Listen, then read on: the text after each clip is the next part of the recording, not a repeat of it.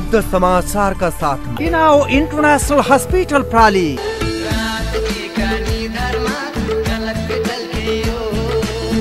Lumbini ready mix concrete प्राली नमस्कार बुद्ध समाचारमा स्वागत छ सुरुमा मुख्य समाचार लुम्बिनी प्रदेशका अधिकांश जिल्लामा प्रचण्ड माधव पक्षको जिल्ला भेला सम्पन्न अदालत अथवा सडकबाट संसद पुनर्स्थापना एक मात्रै विकल्प भएको दावी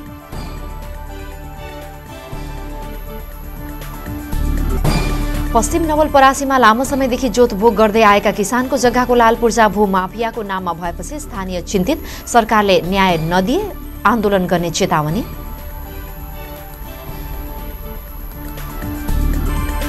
र प्रधानमन्त्री कप महिला क्रिकेटमा लुम्बिनी र एपिएफ सेमी फाइनलमा भिड्ने पक्का।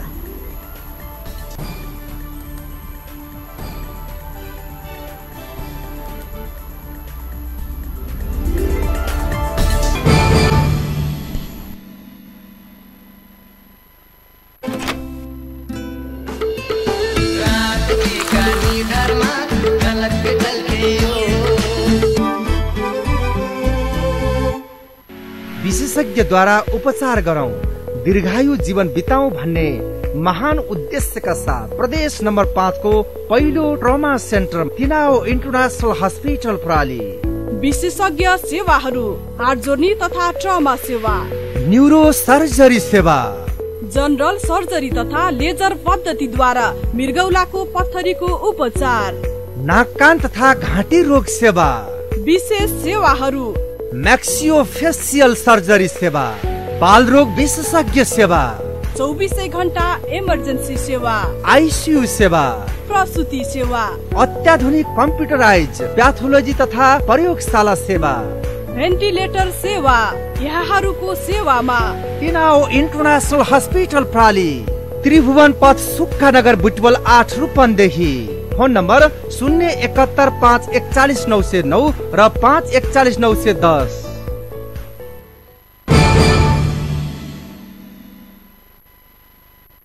अब समाचार विस्तारमा।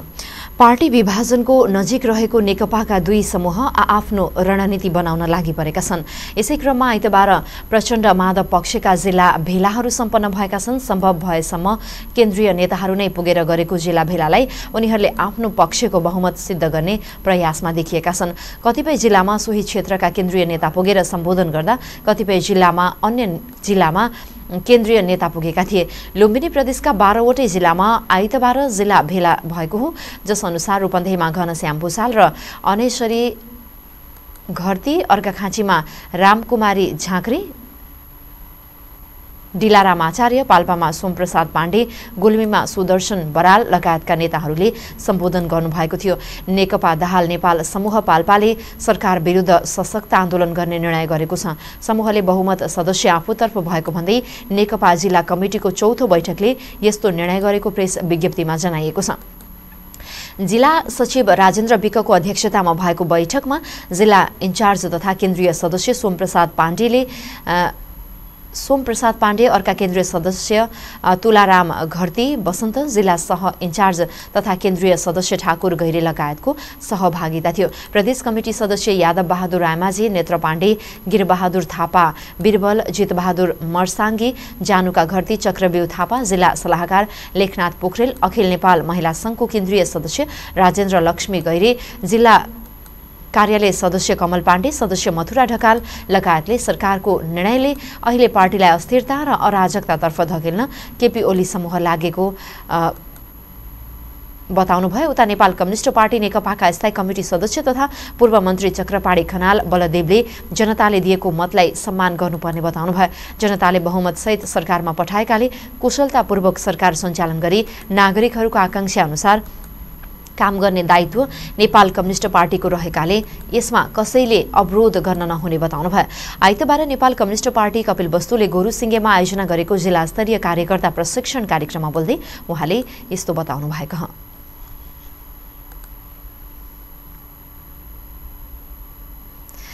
नेपाल कम्युनिष्ट पार्टी नेकपाका स्थायी समितिका सदस्य घनश्याम भूषालले संसद पुनर्स्थापना भए अहिलेको पार्टी विभाजन रोकिने दावी गर्नुभएको छ। माधव प्रचण्ड माधव समूहका नेता समेत रहनुभएका उहाँले संसद पुनर्स्थापना भए नेकपा एक ठाउँमा आउने बताउनुभयो प्रचण्ड माधव समूहले रूपन्देहीको तिलोतमाको एक होटलमा गरेको जिल्ला भेलालाई सम्बोधन गर्दै भूषालले प्रतिनिधि सभा तुरन्त पुनर्स्थापना हुनुपर्ने धारणा राख्नुभयो। प्रधानमन्त्री केपी शर्मा ओली पार्टीको विधि विधान विरुद्ध लाग्दा देशमा यस्तो अवस्था सृजना भएको उहाँको धारणा छ। प्रतिनिधि सभा विघटनको निर्णय संविधान परम्परा र जनचाहना विपरीत भएकाले पुनर्स्थापनाको विकल्प नभएको उहाँको दावी छ। पछि नेपालले चाहेको त्यही कुरा हो हामीले खोजेको त्यही कुरा हो अस्ति संविधानमा त्यही कारणले त्यो लेखिएको हो यो गलत कुरा भयो यो गलत कुरा भयो यो संविधान विरोधी कुरा भयो के भयो भन्दा यो संविधानको परिखिलाफ कुरा भयो। त्यसमाथि पार्टीका तर्फबाट भन्ने हो त यसको मैले भन्नै परेन। त्यो कमरेड जसरी रुनुभएको थियो। देशव्यापी एउटा अन्यल निराशा एक खालको आक्रोश यो व्याप्त छ। यो कुरा देख्नु नै भएको छ। अब के हुन्छ? अब के हुन्छ भने लामो कुरा नगरिकन संसदको पुनर्स्थापना भयो। संसदको पुनर्स्थापना भयो भने यो ट्र्याकमा आउँछ। संविधानको रक्षा हुन्छ पार्टी विभाजन जुन भनिएको छ पार्टी विभाजन पनि रोकिन्छ। उहाँले विश्वका कुनै पनि सभ्य मुलुकमा जनताको चाहना विपरीत गरिएको संसद विघटनलाई अदालतले सदर नगरेको बताउँदै अदालत नगरे अदालतले नगरे जनताको आन्दोलन र विद्रोहले संसद पुनर्स्थापना गरेरै छाड्ने बताउनुभयो। संसद विघटनको निर्णयले नेपाली जनताले पचास वर्षदेखि चाहेको समृद्धिको आकांक्षा तुहाएको र अस्थिरतालाई बल पुगेको भूषालको भनाइ छ। अर्को चुनावमा यो वैशाखमा हुने चुनावमा दुई तिहारले हुन्छ यही हो नि भने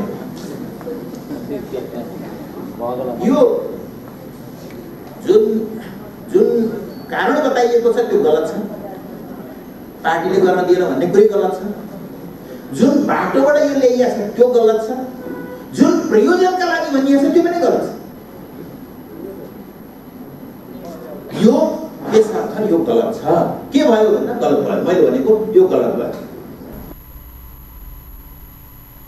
त्यस्तै नेकपा नेता तथा पूर्व सभामुख ओन्सरी ओमसरी घरतीले प्रधानमन्त्री केपी शर्मा ओलीको सरकार काम चलाउ मात्रै सरकार रहेको बताउँदै यो सरकारले अब केही गर्न नसक्ने बताउनुभयो। प्रधानमन्त्री ओलीले संसद विघटन भएको स्वीकार गर्नुभएको छ भने त्यो काम चलाउ सरकार रहने र मन्त्री परिषदको विस्तार गर्न पनि नसक्ने बताउनुभयो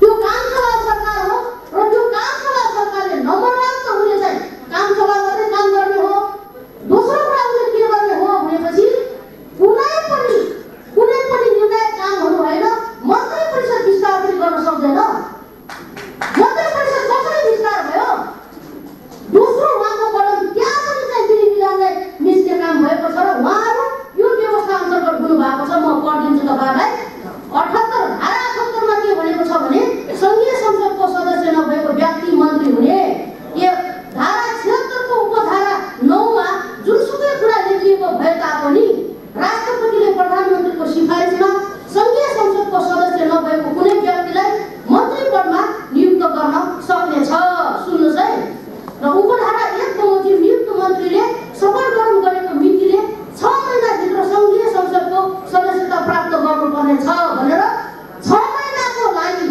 छ महिनाको लागि उहाँहरूले चाहिँ व्य- संविधानमा भएको व्यवस्थालाई त्यागेर अहिले उहाँले प्रधानमन्त्री मन्त्री खाइरहनु भएको छ होइन भने हाम्रो संविधानमा यो परिकल्पना छैन कि प्रतिनिधि सभा या राष्ट्रिय सभामा सदस्य नभए नभए नभएको व्यक्तिले मन्त्री पद खान सक्दैन घरतीले अहिले नेपाल कम्युनिस्ट पार्टीमा महाभारतको काल्पनिक कथा जस्तै भएको बताउनु भएको छ। पार्टी कार्यकर्तालाई सम्बोधन गर्दै उहाँले एउटै घरमा बसेका आफूहरू महाभारतमा पाण्डव र कौरव जसरी भिड्नु परेको उल्लेख गर्नुभयो।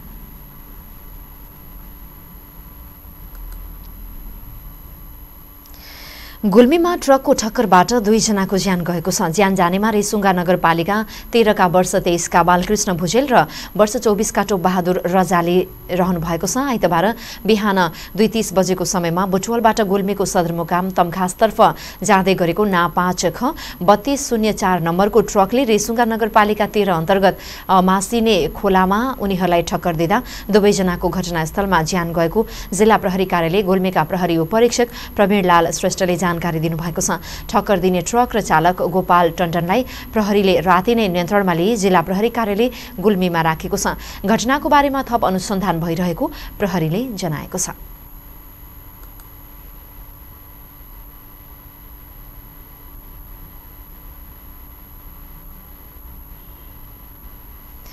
नेपालमा कोरोना भाइरसको संक्रमण भएका मध्ये छ्यानब्बे दशमलव आठ प्रतिशत निको भएका छन्। अहिलेसम्म दुई लाख अन्ठाउन्न हजार एक सय एकासी जनामा कोरोना संक्रमण भएकोमा दुई लाख उना पचास हजार आठ सय त्रिसठी जना निको भएको स्वास्थ्य तथा जनसङ्ख्या मन्त्रालयले जनाएको छ। अहिले नेपालमा छ हजार चार सय त्रियानब्बे जना कोरोनाका सक्रिय संक्रमित रहेका छन्। पछिल्लो चौबिस घण्टामा सहित एक हजार आठ सय पच्चिस जनाको ज्यान गएको छ। देशैभर आइतबार तीन हजार आठ सय अठाइस जनाको पिसिआर परीक्षण गर्दा चार सय एकासी जनामा कोरोना संक्रमण पुष्टि भएको स्वास्थ्य मन्त्रालयले जनाएको छ। यस्तै गएको चौबिस घण्टामा सात सय एकतिसजना निको भएका छन्। सरकारले निजी अस्पतालहरूलाई कोविड अस्पतालको सूचीबाट हटाएको छ। कोरोना संक्रमितको संख्या घट्दै गएपछि स्वास्थ्य तथा जनसङ्ख्या मन्त्रालयले मेडिकल कलेज बाहेकका सबै निजी अस्पतालहरूलाई कोविड अस्पतालको सूचीबाट हटाएको हो। यसअघि कोविड अस्पतालको सूचीमा रहेका निजी अस्पतालहरूले आजसम्म भर्ना भएर उपचार गराएका कोरोना संक्रमितको उपचार खर्च मात्रै शोध भर्ना गर्ने निर्णय गरेको स्वास्थ्य मन्त्रालयका प्रवक्ता डाक्टर जागेश्वर गौतमले जानकारी दिनुभयो। यो सँगै अब कोरोना संक्रमितको उपचार सरकारी अस्पताल अस्पताल तथा मेडिकल कलेजहरूबाट मात्रै हुनेछ।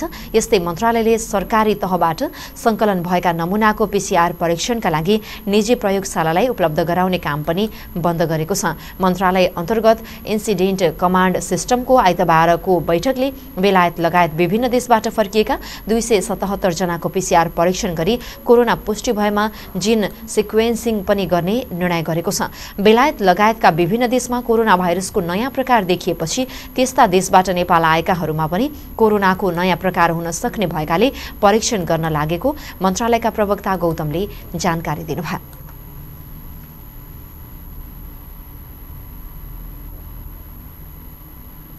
बुद्ध समाचारमा समाचारको सिलसिला बाँकी नै छ तर यति बेला पालो भएको छ छोटो विश्रामको। अब ढुक्क हुनुहोस्। धेरै समयदेखि प्रतीक्षा गरिएको विश्व प्रसिद्ध ढलान प्रविधि अब रूपन्देहीमा स्थापित भएको छ। न मिस्त्रीको समस्या न सिमेन्ट गिटी बालुवा खोज्ने र राख्ने ठाउँको समस्या न त चुइने भत्किने न फिनिसिङकै समस्या। दिनभरि लाग्ने काम मात्र दुई घन्टामा तमाम। गुणस्तरीय ओपिसी सिमेन्ट धोएको गिटी बालुवाबाट रेडिमिक्स कङ्क्रिट तयार गरी घर पुल बाटो तथा अन्य संरचनाहरू तयार गरी वर्षौसम्म ढुक्क हुनुहोस्। लुम्बिनी आरएमसीबाट रेडिमिक्स कङ्क्रिट ल्याए घर ढलान गरे जिन्दगीभरिको लागि ढुक्क भए। तपाईँ ढुक्क हुनुहोस् गुणस्तर लुम्बिनी आरएमसीले दिन्छ। लुम्बिनी रेडिमिक्स कङ्क्रिट प्राली तिलोत्तमा बाह्र मङ्गलापुर रूपन्देही। फोन नम्बर शून्य एकात्तर पाँच बैसठी तिन सय एकानब्बे। मोबाइल अन्ठानब्बे पाँच सत्तरी पैँतिस नौ सय छेसठी अन्ठानब्बे शून्य छब्बिस बाहन्न नौ सय छपन्न लुम्बिनी रेडिमिक्स कङ्क्रिट प्रणाली कोरोना भाइरस महामारीको अवस्थामा सुरक्षित गर्भ अवस्था गर्भावस्था एक विशेष अवस्था हो चाहे कोरोना भाइरस कोभिड नाइन्टिन महामारीको बेला नै किन नहोस् विपद वा सामान्य अवस्था जे भए तापनि गर्भवती तथा उनको गर्भमा रहेको बच्चालाई विशेष हेरचाह र स्याहार चाहिन्छ गर्भवतीमा पनि कोरोना भाइरसको संक्रमण हुन सक्छ त्यसैले कोभिड नाइन्टिनका लक्षणका साथै गर्भावस्थामा देखिन सक्ने खतराका लक्षणहरूबारे जानकारी राखौँ। गर्भावस्थामा देखिने खतराका लक्षणहरू। टाउको साह्रै दुख्नु। आँखा तिरमिराएर धमिलो देखिनु। हात तथा मुख सुनिनु। हात खुट्टा अरौरो भई काँप छुट्नु वा मुर्छा पर्नु। कडासित तल्लो पेट दुख्नु। योनिबाट रगत वा पानी बग्नु। यी मध्ये कुनै पनि खतराका लक्षणहरू देखा पर्ने बित्तिकै तुरुन्तै नजिकैको स्वास्थ्य संस्थामा जाँच्न लैजानु पर्दछ। नियमित गर्भवती जाँच तथा खतराका लक्षणको समयमै पहिचान गरी गर्भावस्थालाई सुरक्षित बनाऊ। कोभिड नाइन्टिन सम्बन्धी कुनै पनि जिज्ञासा वा परामर्श चाहिएमा पैसा नलाग्ने कल सेन्टर एघार पन्ध्र वा एघार तेत्तिसमा सम्पर्क गरौँ।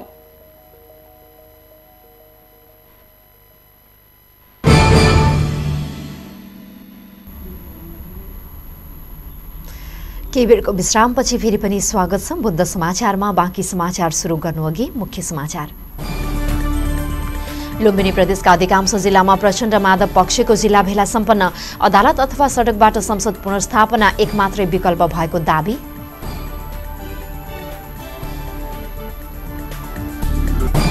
पश्चिम नवलपरासीमा लामो समयदेखि जोतभोग गर्दै आएको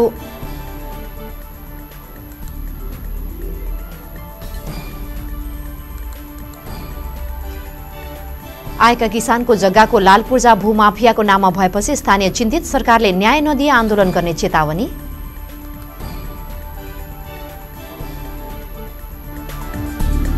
र प्रधानमन्त्री कप महिला क्रिकेटमा लुम्बिनी र एपिएफ सेमी फाइनलमा भिड्ने पक्का।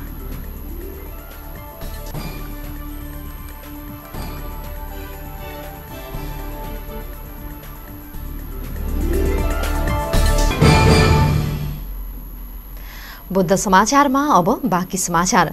पश्चिम नवलपरासीमा दशकौँ वर्षदेखि जोतभोग गर्दै आएका किसानको जग्गाको लालपूर्जा भूमाफियाको नाममा हुँदा सुनवल नगरपालिका वडा नम्बर तेह्र अस्नही अस्नैयाका स्थानीय चिन्तित भएका हुन्। पश्चिम नवलपरासीमा दशकौँदेखि जोतभोग गर्दै आएका किसानको जग्गा भूमाफियाहरूको नाममा लालपूर्जा भेटिएको छ। माफियाहरूको नाममा लालपूर्जा छ। तर कुन जग्गा आफ्नो नाममा दर्ता गराएको हो एकिन समेत गर्न नसकी। नापी तथा मालपोत कार्यालय धाइरहेका सुनवल नगरपालिका वार्ड नम्बर तेह्र अस्नैयाका किसानहरू सुकुम्बासीमा आफूहरू जोतभोग गर्दै आएका जग्गा अरूको नाममा भएपछि आफूहरूको उठीबास हुने उनीहरू लाई चिन्ता लाग्न थालेको छ। हुकुमवासीको चलखेलका कारण बिचल्लीमा पर्ने चिन्तामा परेको स्थानीय रुद्र प्रसाद कुमारले बताउनुभयो।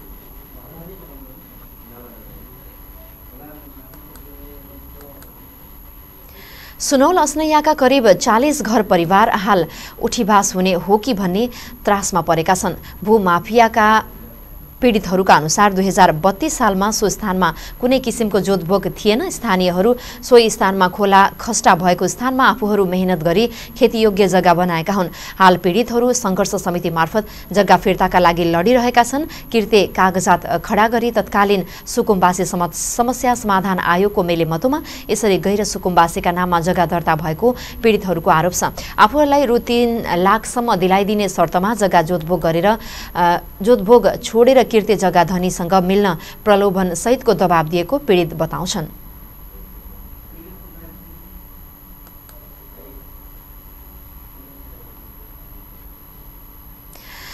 प्युठान स्थित स्वर्गद्वारी आश्रममा पालेका गाईलाई दाङ लमहीका जनप्रतिनिधि तथा व्यवसायीले पराल र दाना सहयोग गर्नुभएको छ। शनिबार दाङबाट सोह्र ट्र्याक्टर पराल तीस बोरा दाना चार बोरा नुन सहयोग स्वरूप प्रदान गरिएको हो। लमहीका जनप्रतिनिधि र युवा व्यवसायीले मिलेर रकम सङ्कलन गरी ती सामग्री स्वर्गद्वारीसम्म पुर्याइएको हो। लमही नगरपालिका वडा नम्बर नौका वडा अध्यक्ष बेसबहादुर केसी वडा नम्बर सातका अध्यक्ष मोहन गिरी छका अध्यक्ष गणेशमान चौधरी चारका अध्यक्ष सुभाष नेउपाने दुईका वडा अध्यक्ष नेपाल नेपालु चौधरी र देउखुरी उद्योग वाणिज्य सङ्घका अध्यक्ष रत्नप्रसाद श्रेष्ठ व्यवसायीहरू केशवराज पन्थ सूर्यबहादुर सुनार सन्दीप पौडेल दुलाम दास चौधरी प्रमोद बस्नेत सुन्दर केसी सुशील कुमार कौशल विनोद शाह खगराज नेउपाने रमण चौधरी लगायतले आर्थिक सहयोग सङ्कलन गरी पराल तथा दाना खरिद गर्नुभएको हो। सहयोग सङ्कलन कार्यक्रमका संयोजक तथा देउखुरी उद्योग वाणिज्य सङ्घका महासचिव कमल ठकुरीले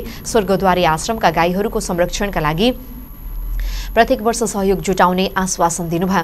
यही टोलीले गत वर्ष आठ ट्र्याक्टर पराल दाना र नुन सहयोग गरेको थियो। स्वर्गद्वारीमा महायज्ञ सञ्चालन गर्दै दुध घिउ र तरकारी तथा खाद्यान्न उत्पादनका लागि समेत गाई पाल्न जरुरी रहेको आश्रमका व्यक्तिहरू बताउँछन्। स्वर्गद्वारी आश्रममा करिब तिन सय गाईहरू पालिएका छन्। आश्रमले गाईहरूको लालन पालन आन्तरिक स्रोतबाटै गर्दै आएको छ। प्युठानको स्वर्गद्वारी आश्रम अन्तर्गत दाङको बनगाउँ र झिङ्गौरामा गरी करिब छ सय गाई छन्। यी गाईलाई पराल दाना दैनिकी दिनुपर्छ तर गाईलाई खुवाउने परालसम्म अरूसँग मागेर काम चलाउनु पर्ने बाध्यता छ।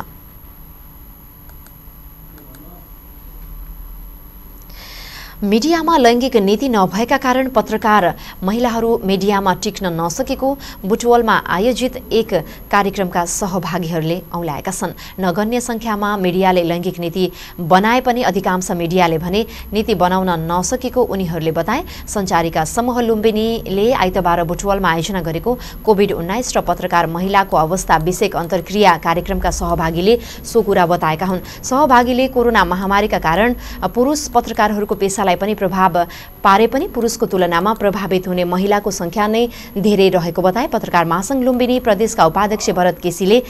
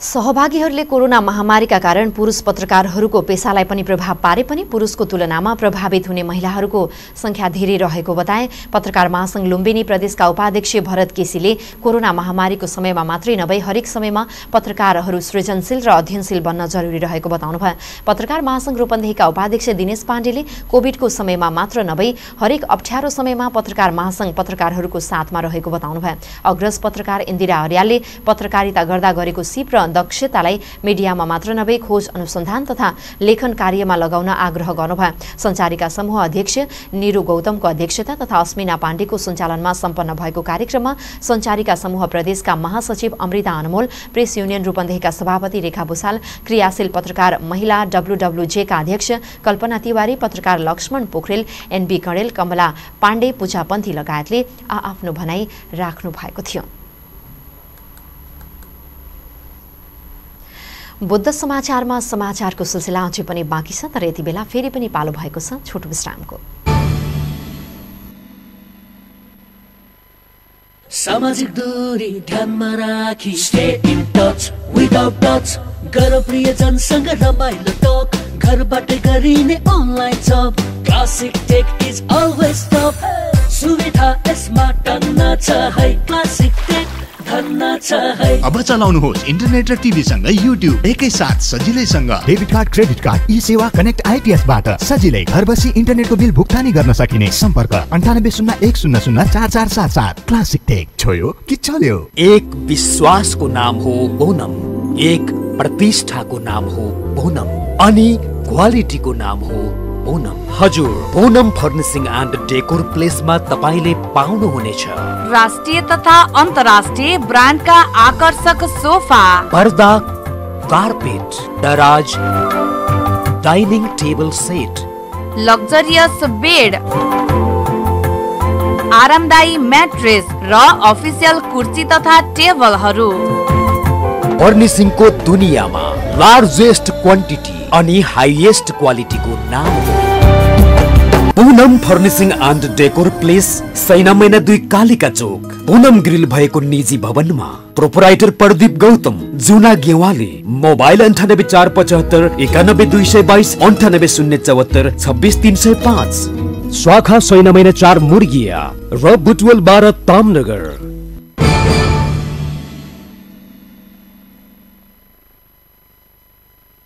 पछि फेरि पनि स्वागत छ बुद्ध समाचारमा। अब बाँकी समाचार।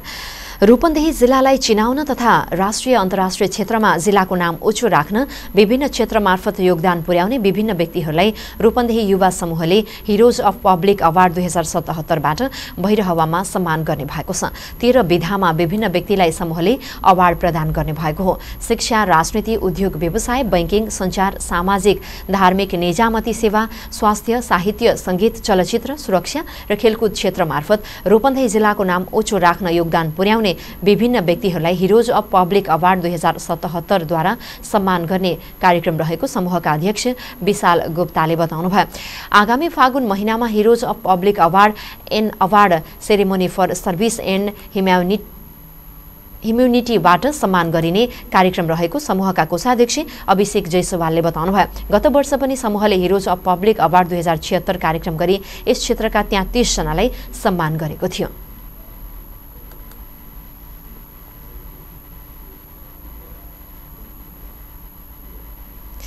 दाङमा चलिरहेको प्रधानमन्त्री कप राष्ट्रिय महिला क्रिकेट प्रतियोगिताको टी ट्वेन्टी संस्करणमा समूह एबाट एपीएफ र लुम्बिनी प्रदेश सेमी फाइनलमा पुगेका छन्।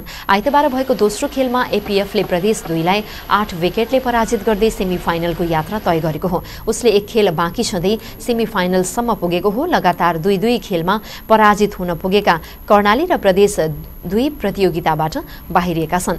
यसअघि कर्णालीलाई पराजित गर्दै लुम्बिनी प्रदेशले सेमी फाइनलसम्मको यात्रा तय गरेको थियो। प्रतियोगितामा लगातार दोस्रो जित हासिल गर्ने क्रममा एपीएफले प्रदेश दुईले प्रस्तुत गरेको त्रिहत्तर रनको विजय चुनौतीलाई तेह्र दशमलव एक ओभरमा दुई विकेटले गुमाएर पूरा गर्यो। एपीएफकी ओपनर ज्योति पाण्डे चालिस बलमा चार चौकासहित सर्वाधिक तीस रनको योगदान दिनुभयो। भने सरिता मगर छ र इन्दु बर्मा एक रनमा अभिजित रहे। यसअघि कप्तान रिता राणा मगर तीस बल खेल्दै एक चौकासहित अठार रनमा आउट भइन्। बलिङतर्फ प्रदेश दुईकी कविता गौतम र सरस्वती कुमारी चौधरीले एक एक विकेट लिए। त्यसअघि देउखुरी क्रिकेट मैदानमा टस जितेर पहिले ब्याटिङ गरेको प्रदेश दुईले निर्धारित बिस ओभर पुरै खेल्दै आठ विकेट गुमाएर बहत्तर रन बनाएको थियो। टिमले सो रन बनाउने क्रममा उसका लागि अनुराधा चौधरीले सर्वाधिक ठुलो पारी खोलिन् त्यस्तै टोलीका लागि शोभा आलेले तेह्र रन बनाउँदा सन्तोषी चौधरीले नौ रन र विमला मगरले छ रन बनाएका थिए। बलिङतर्फ एपीएफकी कप्तान सीता राणा मगरले चार ओभरमा चौध रन खर्चेर दुई विकेट लिइन् रेखा रावल करुणा भण्डारी ईश्वरी विष्ट र राजमती ऐरीले एक एक विकेट लिएका थिए। अब प्रतियोगिता अन्तर्गत आजको पहिलो खेलमा प्रतियोगिताबाट बाहिरिसकेका कर्णाली र प्रदेश दुईको बीच प्रतिस्पर्धा हुनेछ भने दिनको दोस्रो खेलमा सेमी फाइनल पुगिसके सकेका एपीएफले लुम्बिनीको सामना गर्नेछन्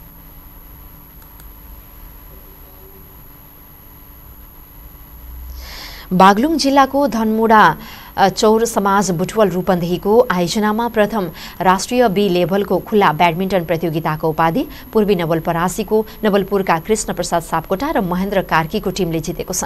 विजेता भएसँगै टिमले पचपन्न हजार पाँच सय पचपन्न रुपियाँ नगद प्रमाणपत्र र सिल्ड पुरस्कार प्राप्त गरेका छन्। उनीहरूले रूपन्देहीको बुटवल ब्याडमिन्टन क्लबका लालमणी पन्थी र नारायण तिवारीलाई सोझो सेटमा हराउँदै विजेता बनेका हुन्। उपविजेता रूपन्देहीको टिमले तेत्तिस हजार तिन सय तेत्तिस नगद प्रमाणपत्र र सिल्ड पुरस्कार प्राप्त गरेका छन्। प्रतियोगितामा तेस्रो स्थानमा मणिग्रामका पदम थापा र थमन राणा तथा तामनगर ब्याडमिन्टन क्लबका रेशम थापा र मनसुन थापाको टिम विजय भएका हुन्। उनीहरूले एघार हजार एक सय एघार रुपियाँ नगद प्रमाणपत्र र सिल्ड पुरस्कार प्राप्त गरेका छन्। प्रतियोगितामा उत्कृष्ट खेलाडी अप्पिन श्रीपाली र अनुशासित मा बालधर गोदार चयन भई पुरस्कार प्राप्त गरेको प्रमुख एम्पायर अर्जुन कार्कीले बताउनुभयो।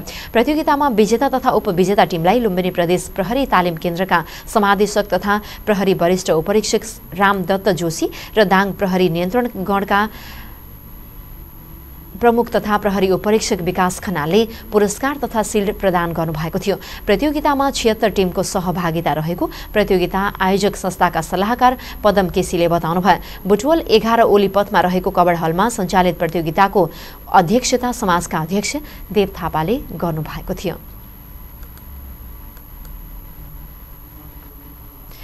यिनै समाचार सँगसँगै हामी बुद्ध समाचारको अन्त्यमा आइपुगेका छौँ। अन्त्यमा मुख्य समाचार। लुम्बिनी प्रदेशका अधिकांश जिल्लामा प्रचण्ड माधव पक्षको जिल्ला भेला सम्पन्न अदालत अथवा सडकबाट संसद पुनर्स्थापना एक मात्रै विकल्प भएको दावी।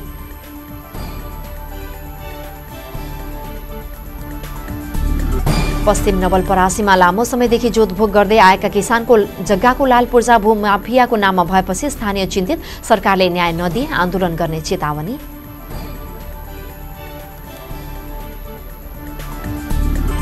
र प्रधानमन्त्री कप महिला क्रिकेटमा लुम्बिनी र एपिएफ सेमी फाइनलमा भिड्ने पक्का।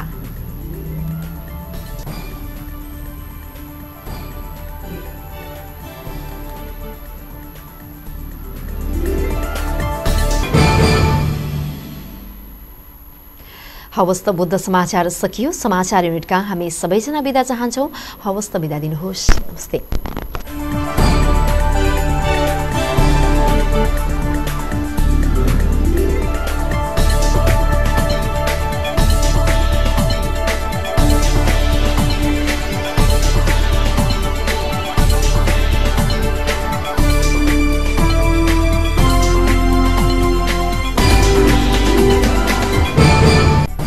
समाचारका साथ बिनाओ इन्टरनेसनल हस्पिटल प्राली